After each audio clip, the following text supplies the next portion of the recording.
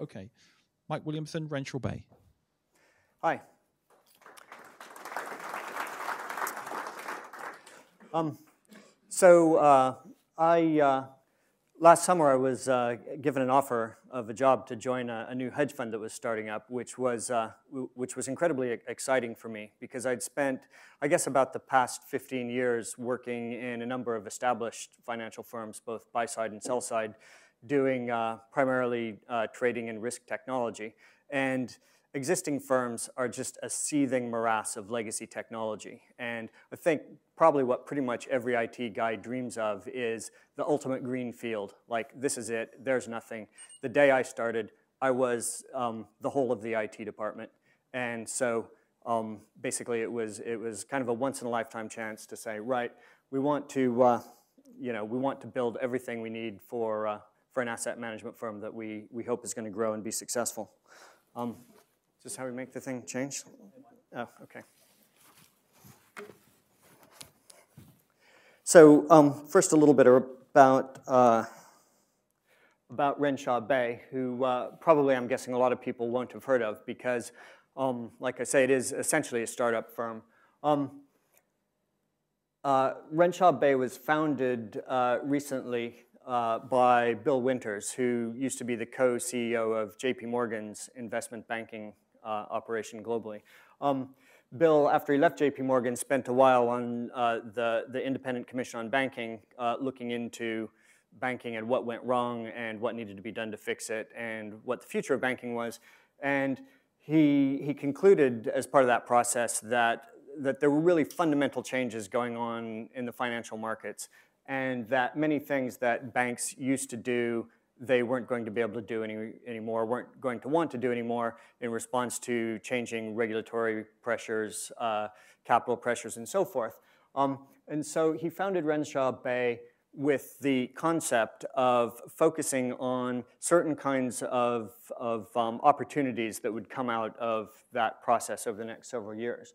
Um, so uh, there, there are a few different funds that we're looking to launch, but the one that's for me most interesting from kind of a technology standpoint is uh, what's going to be called the Structured Finance Opportunities Fund. And the idea behind this is that there are certain kinds of, of portfolios out there, um, the, the sort of toxic debris of the, of the credit crisis, if you will, that's sitting on banks' balance sheets actually has intrinsic value in it uh, that can be unlocked if you can analyze it properly and if you can buy it and hold it to, uh, to maturity. So the fund is being structured, I guess I, sh I, should, as a, as a caveat, admit right now, it's not actually a, a hedge fund in the traditional sense of the word. Uh, it's, it's more like a hybrid between a hedge fund and a private equity structure because the vehicles we're putting together require uh, substantial uh, long-term lockup um, and, capital commitments, you know, over say a five to seven year period from uh, what, what we expect will be large institutional investors. Um, but from, from the point of view of building out the technology for it, the, sorts of things we need are, um, to a large extent, uh, like what you would find in, in any other sort of asset manager that you're starting. So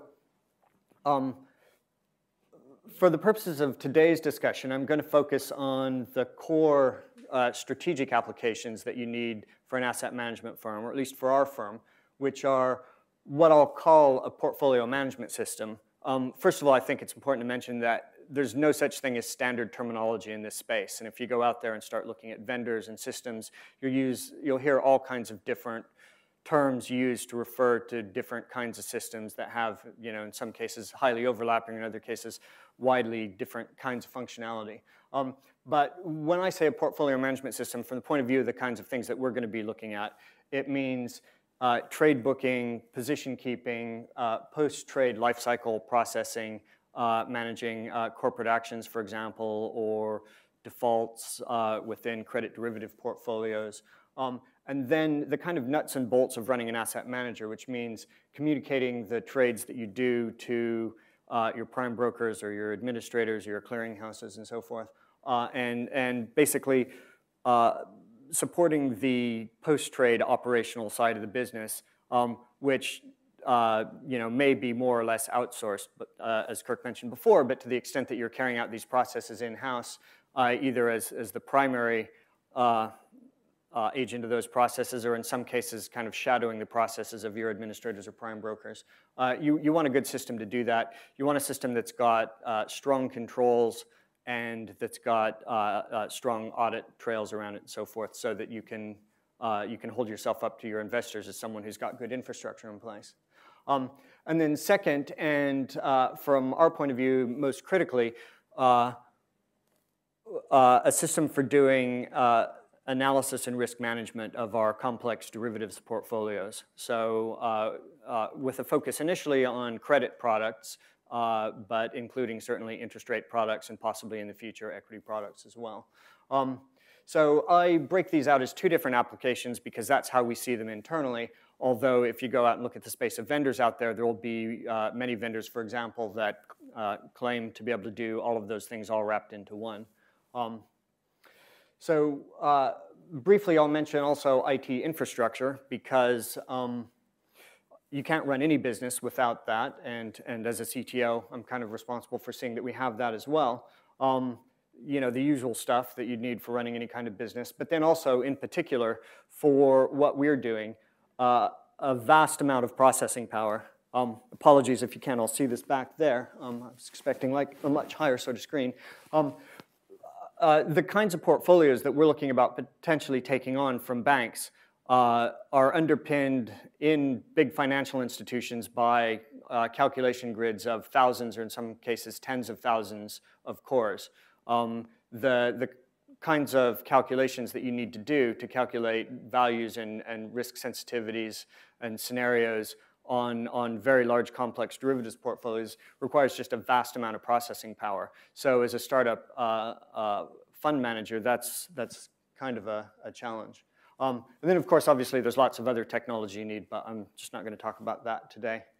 Um, so uh, first I'll talk about the infrastructure just a bit because that's obviously the, the foundation upon which you have to build all the rest of the firm.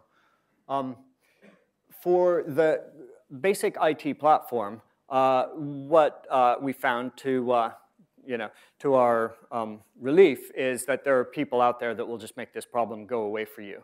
So having worked in, in banks or bigger, more established firms that had done all of this internally, um, and had a, a, substantial amount of the IT staff dedicated to doing kind of pure infrastructure, you know, Windows, Unix, networking, routers, telecoms, all of that kind of stuff. Uh, and in fact, even to some extent, procure, procurement as well. There are, uh, are, firms now that will give you like a complete turnkey offering um, that are very much focused on um, financial services. Um, I, have kind of made an executive decision not to name specific vendors' names, uh, kind of on the record, although if you're interested, ask me later. Um, we've gone with one that's focused on financial services. They understand what we need.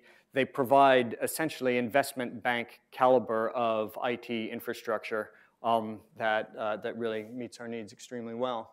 Um, uh, the one thing that they don't particularly do is provide vast amounts of, uh, of processing power. Uh, that's, that's just not something they're geared up to do. Um, they would do it at a price, but that price uh, looked like it was going to be prohibitive. Um, so we're using a, a, sort of hybrid approach here. Our first approach is to use the on-site IT plant that, that any firm would typically have to its best advantage. So, you know, we've got 40-some people in our company. Uh, we've therefore got 40-some uh, computers in the office, some of which are really quite high-end engineering workstations. They sit there doing uh, pretty much nothing all night long at least, and often during the day. Um, so by building out internal infrastructure that we can deploy across all our in-house desktop machines, we, uh, we can actually like harness quite a lot of computing horsepower. Um, However, that's got two problems. One, there isn't enough of it, and two, uh, in some sort of disaster scenario in which our building burned down, there wouldn't be any of it at all, and, and we still need to be able to trade uh, and risk manage our book in that circumstance. So the second thing we've done is turn to public cloud computing. Uh, we evaluated a couple of different cloud vendors, um, decided to go with EC2 for now because um, Uh, it, it's big, it's well established, the APIs are clean and easy to use. Um, so we've built out our, our in-house infrastructure to be able to uh, combine together uh, our desktop PC computing power plus uh, machines in the Amazon cloud, which um, in theory anyway, we should be able to scale up to thousands of cores uh, in a relatively short time. Um, and in particular that because of the, uh, the pricing model, you only pay for what you actually use, which very much suits the sorts of uh, uh, calculations that we might do where you might, say on an ad hoc basis, want to price uh, your portfolio under some scenario in which you'd need to like spin up maybe hundreds or thousands of cores for an hour or two, but you don't want to want to have purchased that many uh, to be sitting around all the time doing nothing. So uh, turning then to the two main application areas. Um, I think you know what Kirk said in his in, in his talk is exactly right. Um, and in fact, the fact that we hadn't colluded beforehand um, uh, surprised me a bit. How how much everything he said resonated with the decisions that I had to make and the experiences I had over the past um, year or so. Um, so for the core trade booking, position keeping, nuts and bolts, back office, workflow, audit trails, reconciliations, that sort of thing, um, we decided to go with a vendor system because it's largely a commoditized activity and there, there's no advantage at all in building all that from scratch. So we started by uh, uh, doing a survey of the market. Uh, in, answer to your question before, how do we find out what systems are out there? for us, the prime brokers were a goldmine of, in, of information, right? They, all, all, of the major prime brokers will be able to tell a startup hedge fund like us, not a hedge fund, startup alternative asset manager, um, uh, what other systems are out there, how they're being used, who they're being used by, uh, what their market penetration is. So that gave us like a really good, uh, a really good starting point. Um, it's a market that is currently, I'd say, split over sort of three tiers. There's a top tier of really big, well-established players that have been around for a long time, who sell into primarily investment banks, but try and get into the hedge fund space as well. Um, it's a bit like Goldilocks and the Three Bears. They were way too big, certainly way too expensive, uh, geared up, as Kirk said, for uh, procurement processes that were going to be quite heavyweight and um, uh, and in the end, we weren't something that we really wanted to tangle with. Um, there's kind of a middle tier of companies that have been around and are uh, well established, um, but, but not that big and not that heavyweight. But ultimately, in the end, uh, we ended up going with uh, essentially a startup company. Uh, there are a handful of new players in this market at various degrees of maturity. I think there might be representatives of a few of them here.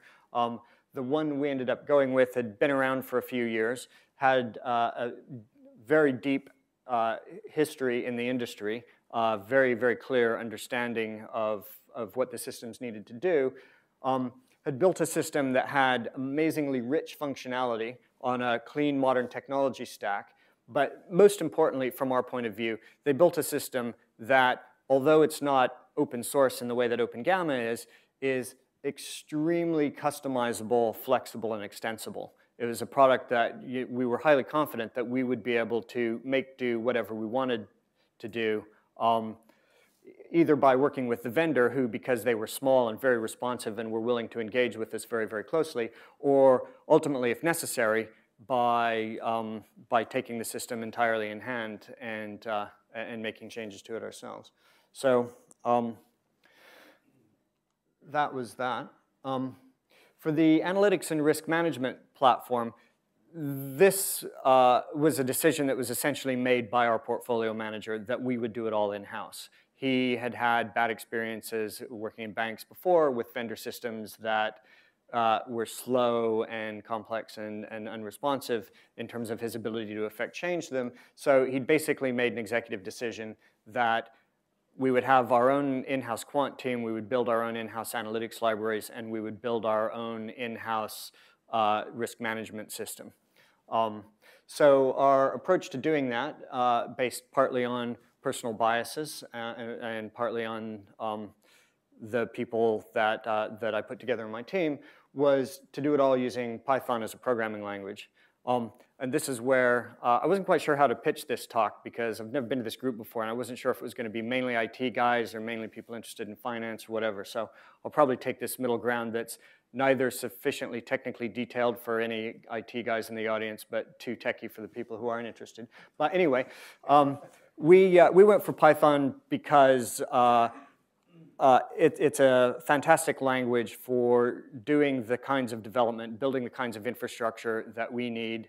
Uh, two of the senior developers that I hired had come from other firms that are doing a substantial amount of Python development. It's something that's been taken up, I think, by a lot of the banks as well, uh, as well as in the scientific and engineering research communities. Um, it, it really let us build out a tremendous amount of uh, distributed pricing and risk infrastructure very, very quickly. Um, and, uh, and to keep the code base small and manageable. Um, there's there's a, a huge uh, community out there that's produced a lot of a lot of infrastructure and uh, just lots of stuff that you can leverage. Um, that I mean, if if nothing else, that was our goal was to leverage open source technology as much as possible, um, and uh, and the Python community is great for that. Um, the the GUIs uh, are largely built around Excel because that's what traders want to use anyway. Um, it's, it's a bit of a mixed bag, Excel. It can be very valuable and very useful. It can also be extremely dangerous. So our goal is to focus on not having ever any business logic in Excel, but to use Excel spreadsheets essentially as a sort of container to deploy front ends to the trading desks backed onto the underlying computational infrastructure. Um, although we have built some, some bespoke GUIs uh, using, using a, uh, a Python widget set, and we've also uh, built some web-based GUIs for, uh, for essentially a sort of reporting and dashboard onto the underlying risk management system. Um, so uh, I'm going to talk about some open source technology that we've used that has worked really extremely well for us and, um, and, and, given us, I think, a huge amount of value for, for well, no cost. Um, the core of, uh, of any sort of trading system obviously has got to be uh, your database.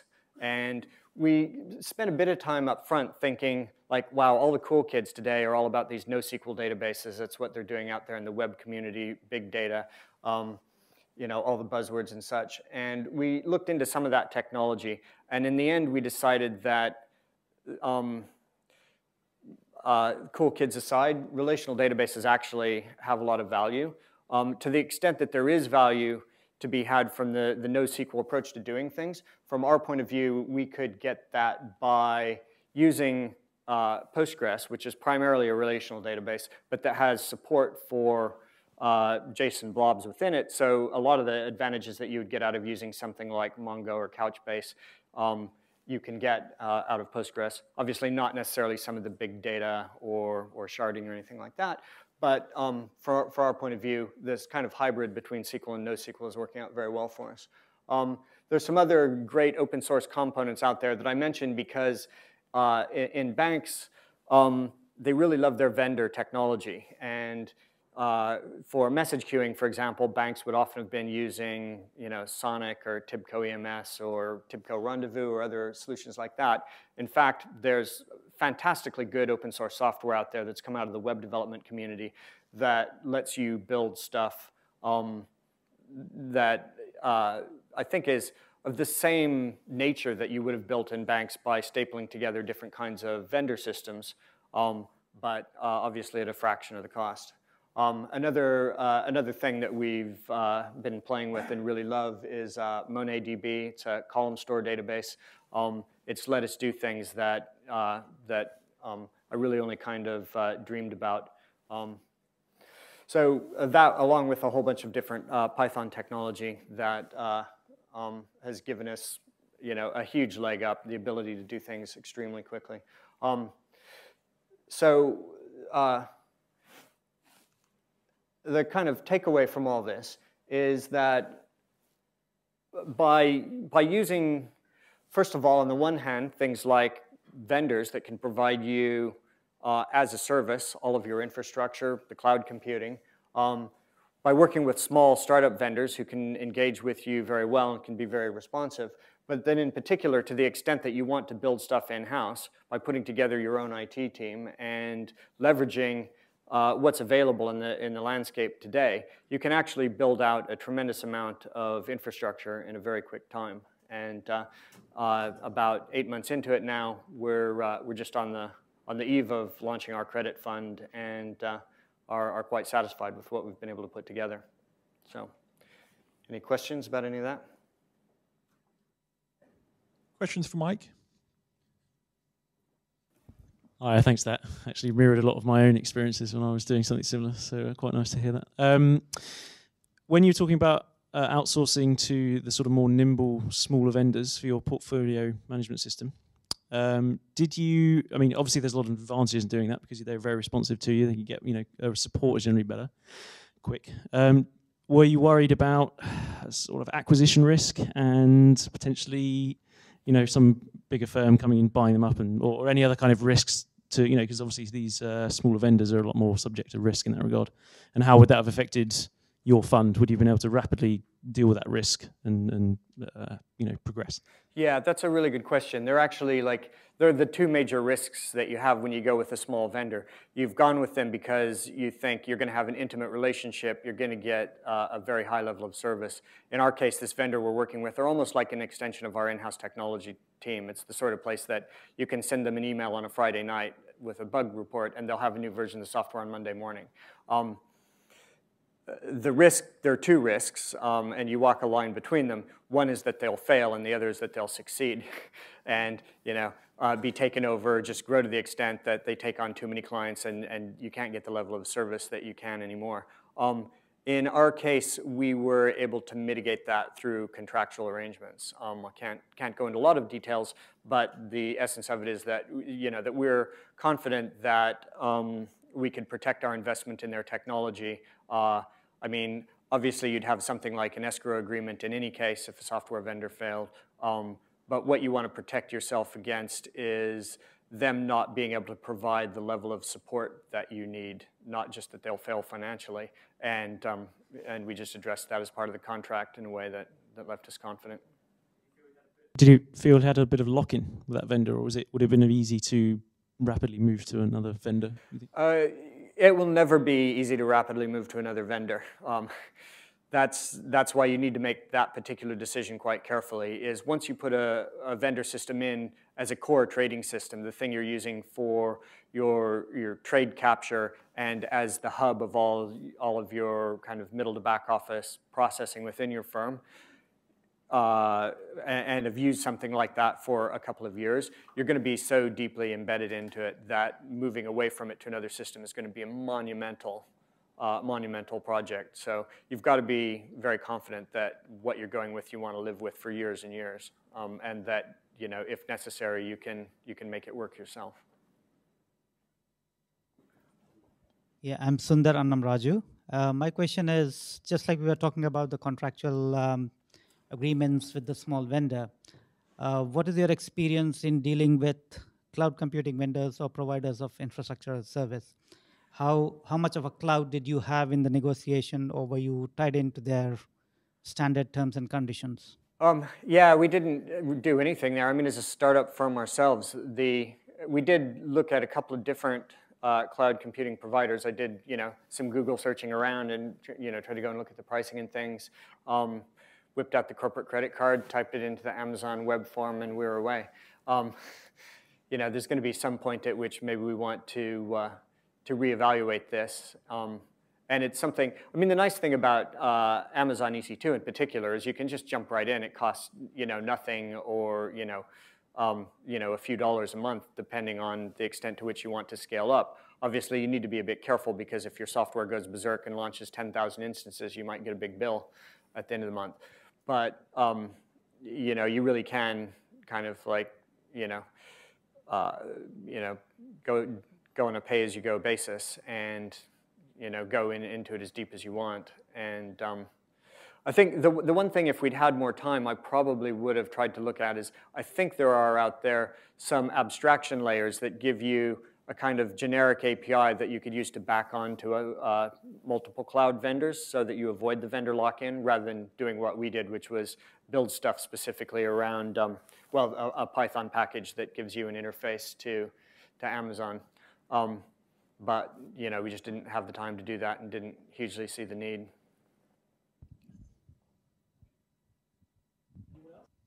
Hi, I'm Robert Betts from Never Partners. Um, Mike, uh, a question we were talking about earlier on, but um, the question about working with a startup vendor, do you think because you've gone through the process and the pain of uh, dealing with big vendors before, um, whether you are slightly different, or do you think there might be a trend? Um, I don't know. It's hard for me to know how much to generalize on that point. I know uh, our, our head portfolio manager on the credit side wasn't excited about working with, uh, with big vendors. There's some that he mentioned by name that he absolutely refused to work with. Um, I think mostly it would have it would have depended a lot on the experience that people like that had had with banks. Um, to be honest, I don't know very many people who have actually had good experiences with really big software vendors. Um, I've actually had some you know, some qualified successes with some, um, but, uh, but I don't know of anyone who really thinks it's, it's a great way to spend money or time. Um, it was actually, it was a big debate in our firm early on whether or not we could go with a startup vendor or whether, as a startup ourselves, to reassure our investors, we needed to go with, um, with a, a, more established player. Um, and it's something we debated at length. And in, in the end, we came to the conclusion that, and, and, we did actually some kind of external research asking around people at other funds and so forth, um, what their experience had been when going through due diligence with investors, um, and came to the conclusion that investors care about you having good controls in place uh, and, and, having you know thought about the potential risks and mitigated them, but that going with a startup vendor isn't isn't a huge impediment. But you know, uh, like I say, there was there was debate on that point in our firm, so I would imagine in some other firms the debate might come down the other way. Hi, I'm Ken. Um, given you'll be dealing with some pretty exotic portfolios, what's your stance on real-time risk reporting? Um, are you going to be building your technology stack to return real-time risk analytics or take advantage of the cloud, or is it not designed that way? Um, not real time, no. Um, and that was something that I personally was, I mean, I'd love to build real-time risk systems. It would be fun. Um, I was hoping I could, but the head portfolio manager has, has, reassured me on numerous occasions that's not something he needs. The liquidity of the instruments, the nature of the kinds of risks, his experience having run structured products in, in banks before, um, these kinds of portfolios. Well, to give you some idea of the sort of portfolio we're talking about, one of the, one of the ones that we've been looking at has on the order of 50,000 positions in it, uh, you know, 40 or so thousand vanilla credit derivatives and a few thousand bespoke tranches, CDO squareds, and so forth. The pricing models for the more complex products might take a minute or so of CPU time to run a single pricing for a single instrument. Um, if you then need to do many pricings to calculate different kinds of sensitivities, uh, you, your time bucketed credit and interest rate exposure and so forth, um, uh, you sit down and do all the maths, and you're looking at probably something like um, 300 core hours of CPU time to price the portfolio. So um, no one's expecting to see like real-time taking risk in that. I don't know, maybe some of Kirk's clients are. Um, but from our point of view, uh, certainly overnight batch runs, but intraday maybe taking a segment of the portfolio and defining an ad hoc scenario and being able to fire something off into the grid um, and get a response back within you know, an hour would be, would be completely acceptable to our, to our trading desk and risk managers. Okay, we can we can take one more one more question. Is there any interest in uh, using GP GPU to actually help with those sort of calculations? There's a lot of floating point maths in there. Yeah, that's actually really interesting. It's something our um, uh, some of our developers and quants are really really interested in. Um, for sure, we think for some of the pricing models that would help out a tremendous amount. And um, from the point of view, so our, our internal kind of organizational structures, we've got the quants who build the analytics library, and then the technology team who builds the, uh, the IT framework with those models embedded within it. Um, GPU enabling it is something that would have to be done by the quant team within the core of the analytics library. Having done that, you could then just have models which would go faster, which you could deploy into our framework. Um, interestingly, um, Amazon has GPU-enabled nodes within their cloud, so you know our current solution, if the if the quants get around to doing that, would um, would definitely give us a huge benefit for some of the models. Just take one, one last one. It's Greg Dowling. It's sort of a follow-on question, really. Did the quants write the models in Python? No, sadly not. Um, I wish they had because we didn't quite get there soon enough. Um, the, the head quant was in the firm before I was and had uh, really established himself in C++ as, as many old school quants are want to do. Um, I actually think that's not as ridiculous as an idea as some people might think. Um, Python itself is obviously not, uh, on the face of it, a really high performance programming language although some of the Python modules like NumPy actually give you a you know, surprisingly good performance. But then more interestingly is Cython, which essentially lets you write something with very much Python-like syntax, but then compile it into native code. And uh, you know, I've seen benchmarks where algorithms implemented in Cython get performance that's pretty close to, to native C++. So um, uh, if I'd had a chance to brainwash our quant Soon enough, maybe it would have been, but sadly, no. Mike, thank you very much. Thank you. Thanks.